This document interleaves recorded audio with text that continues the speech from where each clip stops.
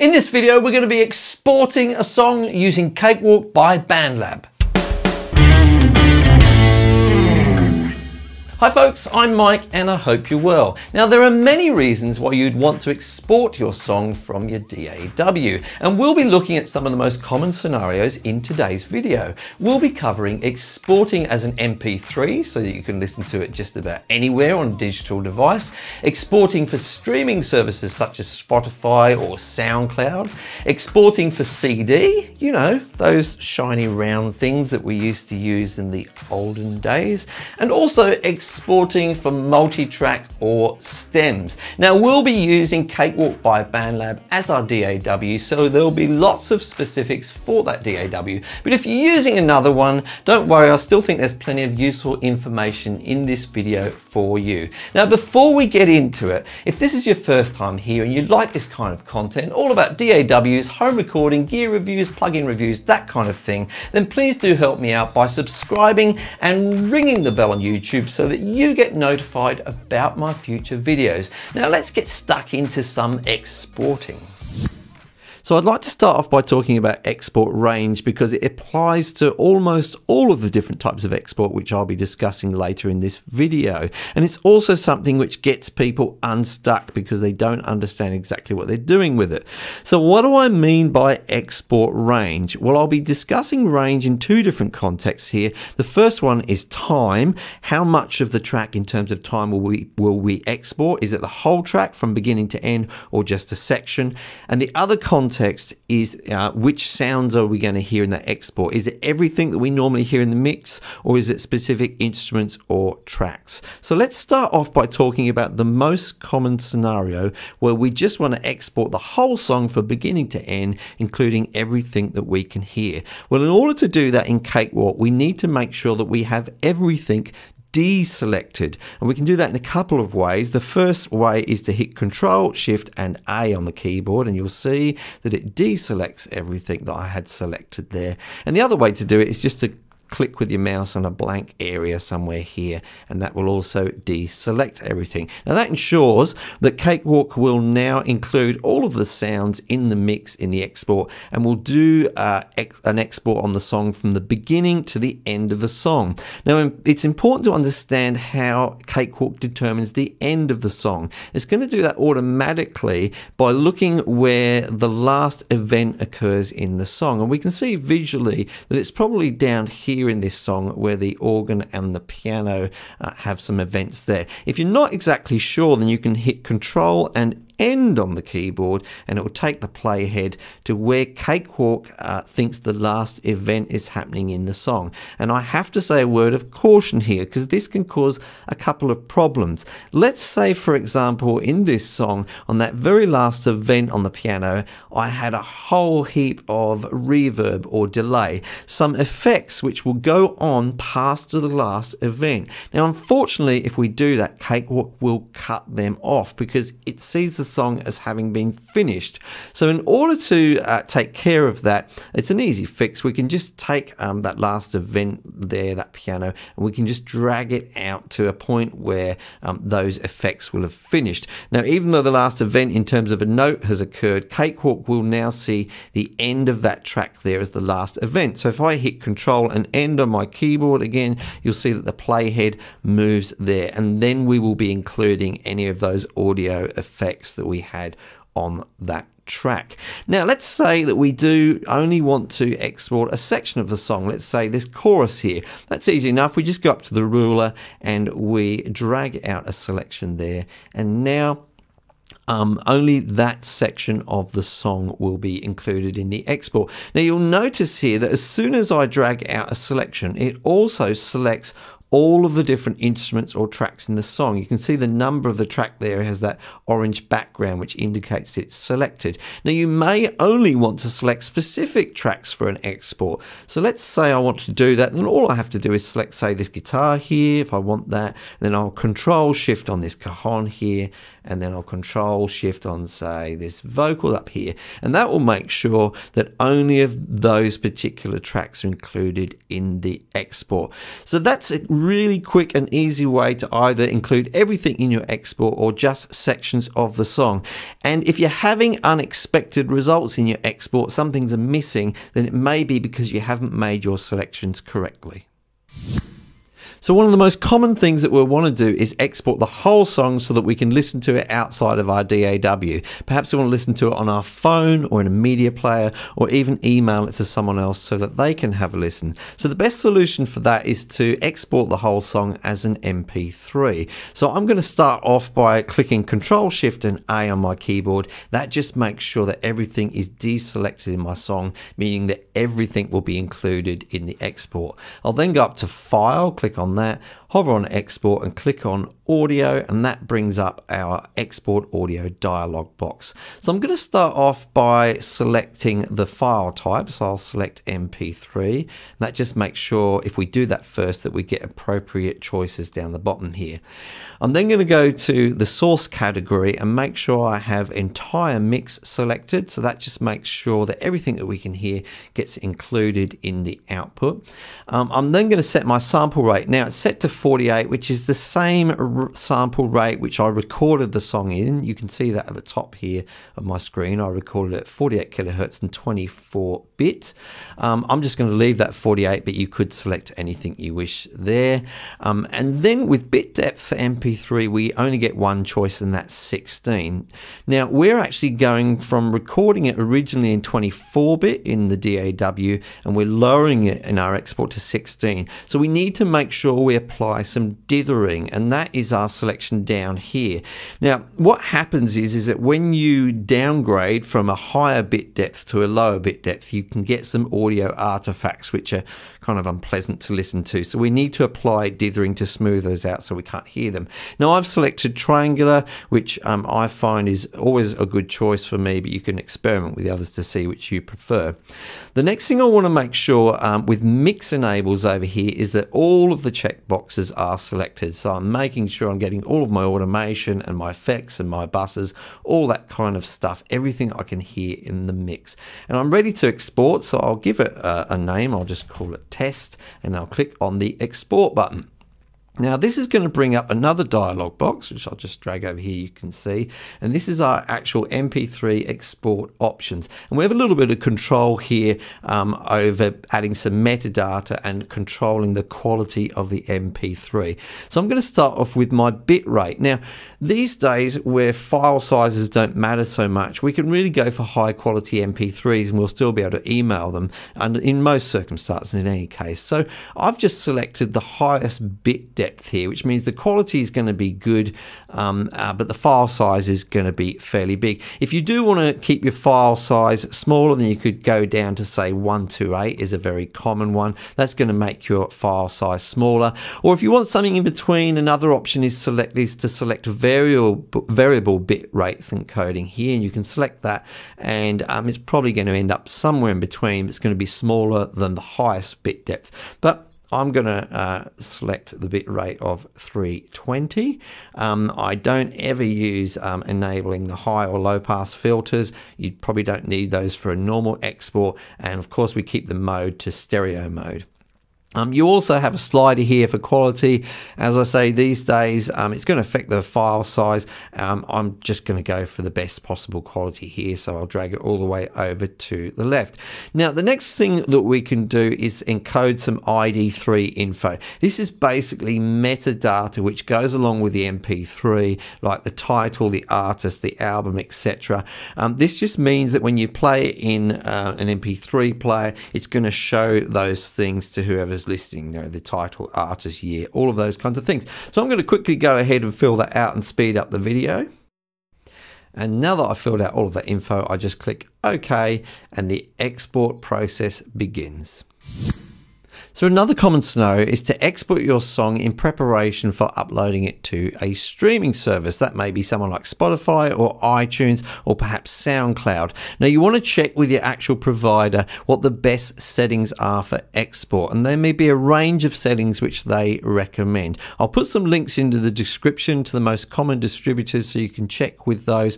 I happen to be using DistroKid but you could be using anyone else. The important thing is here you want to keep it as high quality as possible because you've got to remember they will re-encode it on their end, which can result into some loss of quality. So make sure you keep it high at this point. So we're going to start off again by selecting the whole track and I'm going to make sure everything's deselected to do that. So I'll hit Control Shift and A on my keyboard and then I'll go up to File hover on export and click on audio and that brings up our export dialog box again. Now I'm going to select a file type of WAV. You don't want to be using MP3 if you can help it. Um, there's going to be very, very few providers who are going to restrict you to MP3. A much better option is going to be a WAV file. It's going to be much higher quality. The file size will be much bigger, but remember at this stage it's going to be the quality which is the most important thing. The next thing we want to do is select the correct source, so we can just leave that here on the entire mix. Then for channel format we want stereo. Now the sample rate is important here. Now I know I said I want things to be as high as possible, but there's really no point in selecting a, a sample rate which is higher than we originally recorded our song at in the DAW. So I recorded at 48 kilohertz, so I'm just going to leave that sample rate at 48 kilohertz. Now we also want to keep the bit depth high, so it's set to 16 at the moment. I'm going to increase it to 24. Again, I could have selected 32 or beyond, but there's not much point because I originally recorded the song at a bit depth of 24. I can't increase the quality at this stage. Now, because I've kept it at 24, I mean, I could apply dithering, but there's no need, so I'll click on none for that. And then in mix enables, I'll just make sure that all of the boxes are checked so that I'm getting everything, including all the tracks and the buses and the effects, all that good stuff. Then I can just go ahead and give it a name, so I'll call it stream, and then I will click on export. Now, it's not nearly as common as it used to be, but you may still want to export your song to play on a CD, on a regular audio CD. So I'm just going to quickly show you how to do that. Again, I'm going to hit Control Shift and A to deselect everything, go up to File, uh, hover on Export and click on audio. Now we want to make sure that when we're exporting and in preparation to burn a track to a CD, we're going to select a file type of WAV um, then we are going to select again the entire mix in the source category, keep the channel format as stereo. Now for sample rate, we want to make sure we select 44 kilohertz 44.1 kilohertz. And then for bit depth, make sure you've got it set to 16, regardless of what you've originally recorded at, guys, for this. And if we have downgraded our bit depth from something higher than 16, then do make sure you apply dithering as we saw in the previous examples. Again, make sure you've got everything selected over here. Go ahead and give your file a name. So we'll call it CD and I'll click export and we're ready to use that in another application application to actually burn it as a CD audio track. So the next scenario is when we're exporting either multi-track or stems. Now, this may not be familiar to you, but it's incredibly useful, especially when you're working with someone else on the mix. Perhaps you're doing the tracking, the recording, but you're going to give all of the tracks to someone else to mix. Now, this subject is confused somewhat by the fact that many people in the community use the term stems when they really mean multi-track. So I'm going to clear that up for you. But it's important to remember this because you may want to check with anyone else that you're working with what they're going to expect from the export because they may be confusing uh, the terms multi-track and stem. So do double check with people. Now we're going to start off by looking at a multi-track export to begin with. So again, I'm going to make sure everything in my DAW is deselected by hitting Control, Shift and A, and then I'll click on File, um, Export and Audio. And I'll just zoom in for you there so you can more clearly see what's going on. So the first thing I'm going to do is select a file type of WAV because I want the quality to be really high on this. This is for a multi-track export. Um, so then for the source category, I'm going to select tracks and you'll see all of my tracks appear there. And that is all of the tracks which I have recorded in my song. I could deselect some of them if I wish by hitting control and then clicking on their name and that will exclude those particular tracks from the export. But I want everything in there which I recorded. I'll keep the channel format as stereo. I'll keep the sample rate as 48 because that's the original sample rate uh, that I recorded the song at in my DAW. So match your original settings of your DAW for that. And then um, in the bit depth, I'm going to select 24 because again, I originally recorded this song at 24 bit. And because I'm not changing the bit depth, then I can turn the dithering off.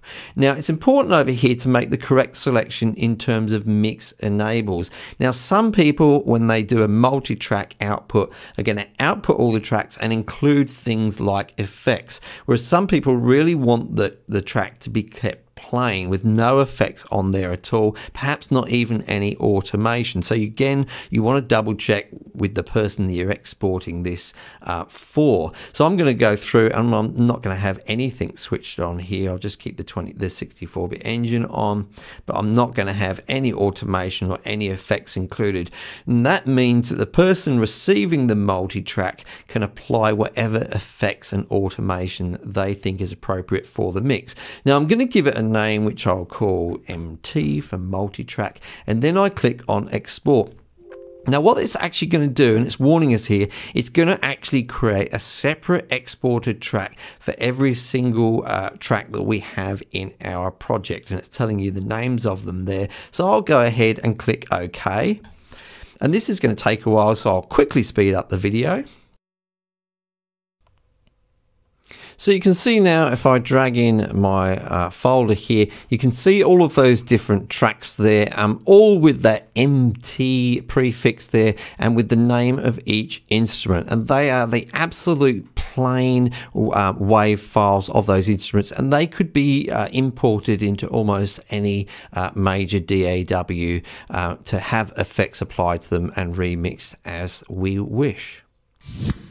So if that's a multi-track export, what is a stem export? Well, let's take a look at that now. We'll have a look at our song again here, and I want to talk to you a little bit how, how this mix is made up. If we take, for example, this bass guitar here in green, you can see next to it, there's another green track there. That is the bass guitar amp. So I have one, which is a DI bass, and that's also going through an amplifier, and I have that on a separate track. Now, those are both output to a bus over here, which you can see just on the right hand side. I'll just drag this out. And that is this green channel here. And that is my bass guitar. Now that would represent a stem. So a stem is often a combination of tracks which combine together to make one track. So another example here would be my drums.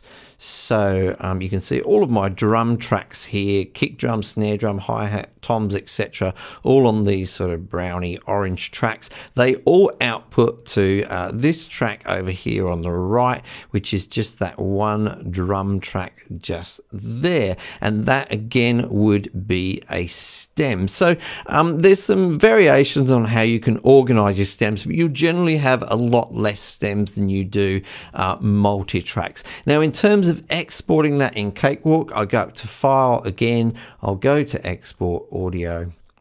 Now this time, rather than selecting tracks, I'm going to select buses because the way I've made sure I organize my uh, track is to make sure that every instrument, even if it's say recorded just a single instrument like a piano and there's just on one track, I just make sure that goes to a bus called piano. I have all of my drums, all of the different tracks going to one bus called drums, etc., etc. And you can see here, uh, these are my final buses. Now you may want to take some of them out. You may have specific buses for effects, which you may or may not want to include. And the same again for the mix enables. Normally stems do have the effects applied on them, but you may want to check with uh, whoever's expecting to get the files um, that what their expectations are again.